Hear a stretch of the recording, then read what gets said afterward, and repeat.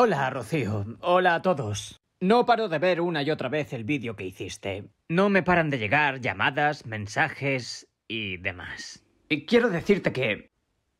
Que te has ido a la mierda, tía. Esas cosas no se hacen. No se hacen. ¿Qué diantres es eso de ir contando nuestras intimidades por ahí? No está bien. No está bien y ¿sabes qué, Rocío? Te respondo por este medio para que entiendas que te entiendo. Para que entiendas que te entiendo. Porque no me respondes, no me coges el teléfono. Primera y última. Paso uno. Lo hago por ti. Simplemente por ti. Paso dos. Quiero llegar entero a la boda y si yo llego entero a la boda, tú eres la beneficiada tres. El abandono. No, no me parece bien.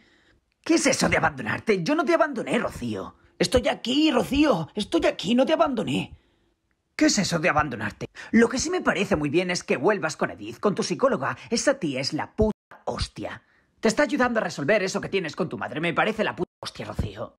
Vete a terapia. Si lo necesitas, yo te lo pago. Estoy aquí en lo de Fito, conectando conmigo, tratando de saber quién soy. ¿Sabes lo importante que es eso? ¿Quién soy? Estoy comiendo más sano.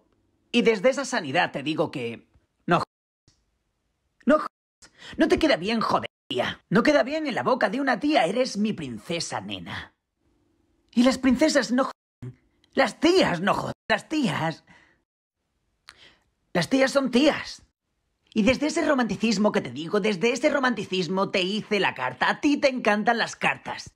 Te flipan las cartas y no lo aceptas, no lo valoras. No te boicotees más, Rocío. No lo hagas, es el momento en el que te tienes que conectar contigo misma, tía. ¡Conéctate! ¡Conéctate! La semana que viene, Fito me lleva de excursión a la montaña. Y voy a necesitar las bolsas y la mochila negra que está encima del armario. Y cuando Fito vaya para allá, te pido por favor que lo trates bien, porque Fito es un amigo. Es un amigo y no le gusta que le diga marrón, ¿vale? Fito te adora. Ole. Bueno, em, para todos los que estáis viendo, aquí estoy, estoy bien. Nos vemos dentro de dos meses en el casamiento, tal vez más.